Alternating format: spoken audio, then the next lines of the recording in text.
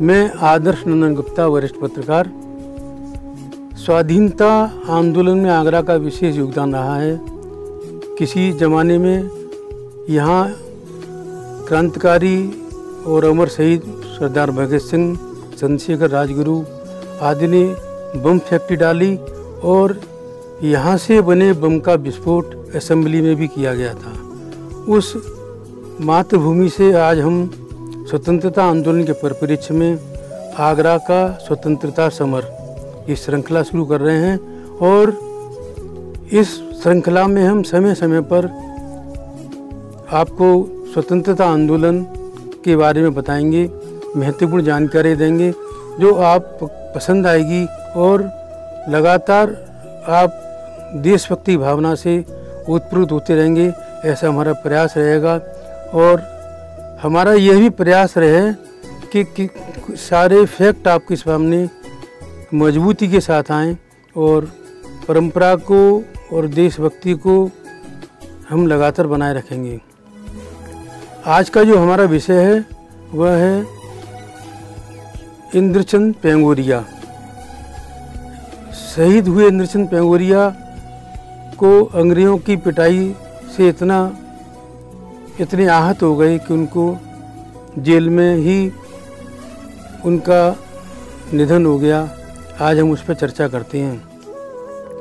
भारतीय स्वाधीनता आंदोलन में इस महायज्ञ में जो आहुतियाँ दी गईं, उनमें अधिकांश नौजवान ही थे, जिन्होंने न अपने परिवार की चिंता की, न भविष्य की फांसी के फंदों को चुम लिया, गोलियाँ खाई या फिर ब्रिटिश के, ब्रिटिश पुलिस के अत्याचारों से तिल तिल कर जेलों में घुट घुट कर अपने प्राणोत्सर्ग कर दिए।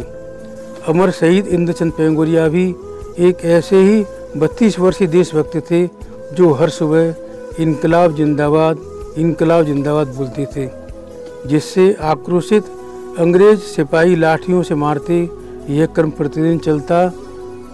इस अमानसिक उत्पीड़न से इंद्रचंद पेंगोरिया जी बीमार हो गए और जेल में उनकी शहादत हो गई थी।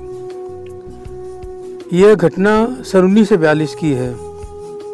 अगस्त क्रांति का आह्वान हमारे राष्ट्रपिता महात्मा गांधी ने मुंबई में आयोजित महासभा में किया था। इस और उन्होंने मंत्र दिया था, देशवासियों को अंग्रेज़ों, भारत छोड़ो, करो या मरो। इस आह्वान के साथ पूरा देश क्रांति में हो गया। आगरा में भी ये जन क्रांति पूरी तरह से बेकाबू हो गई। सरकारी कार्यालयों में आग लगाई लगाई गई। रेल की पटरियाँ उखाड़ी गईं। हर तरफ़ आंदोलन ही आंदोलन थे। इस आंदोलन के तहत राया स्टेशन जो मथुरा में था, उसको फूकने के लिए आगरा और मथुरा के युवकों का एक दल पहुँचा। उनमें इंद्रचंद पेंगोरिया, नीकराम शर्मा, बाबूलाल शर्मा बंगाली मल अग्रवाल ओम प्रकाश तिवारी, कुंवर बहादुर सिंह गुरु प्रसाद ओंकार नाथ राम बाबू भगवान दास आदि शामिल थे।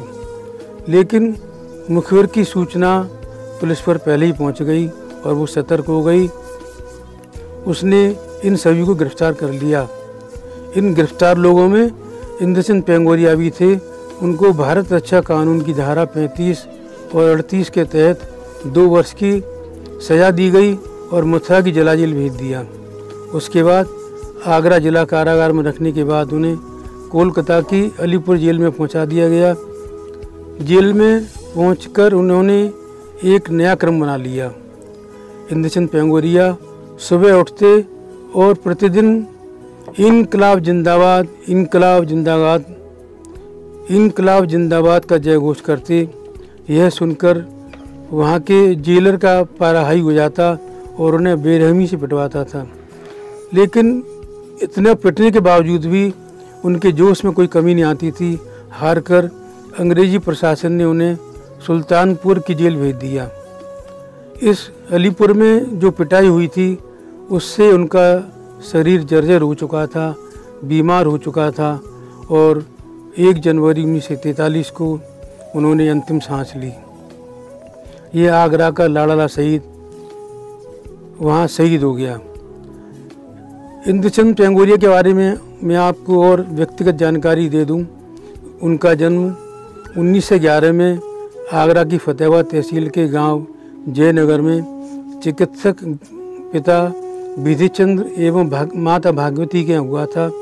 इनकी माँ भागवती देवी महान क्रांतिकारी लाला लाजपत राय की छोटी बहन थी। इंद्रचंद के भाई डॉक्टर हरिचंद पेंगोरिया भी कई बार जेल हुए थे। उन्नीस में एमएससी की परीक्षा उत्तीर्ण करने के बाद स्वाधीनता आंदोलन में कूद पड़े। इंद्रचंद पेंगोरिया जी का सीधा संबंध नेताजी सुभाष चंद्र बोस से था और इन्हीं के कहने पर सन 1940 में नेताजी सुभाष चंद्र बोस आगरा आए थे और मोतीगंज की चुंगी के मैदान में उन्होंने सभा को संबोधित किया था। इंद्रचंद पेंगोरिया जी की जो शहादत हुई, उसका उनको कोई मान सम्मान नहीं मिला, मिल पाया। न शासन ने, उनकी सुधली, न प्रशासन ने। समाज के लोग तो उन्हें जैसे भूल ही गए थे। उनकी याद में न कोई कार्यक्रम हुआ, न कोई आयोजन हुआ। आज मैं उस अनमोल हीरे को, स्वतंत्रता संग्राम के उस योद्धा को मैं नमन करता हूँ और अपनी कोट कोट श्रद्धांजलि अर्पित करता हूँ। मेरा, मेरी प्रार्थना है मेरा अनुरोध है कि नई पीढ़ी इस क्रांतिकारी से सीख ले, देशभक्ति की प्रेरणा ले और देश को आगे बढ़ाने के लिए देश की रक्षा का संकल्प रहे क्रांतिकारी इंद्रचंद पेंगोरे के साथ ही हम ने यह श्रृंखला शुरू कर दी है। हम स्वतंत्रता आंदोलन के क्रांतिकारियों, शहीदों, स्वाधीनता सेनानियों और क्रांति स्थलों के बारे में भी समय समय पर चर्चा करेंगे। इसके लिए आप सुनते रहिए ब्रजवाणी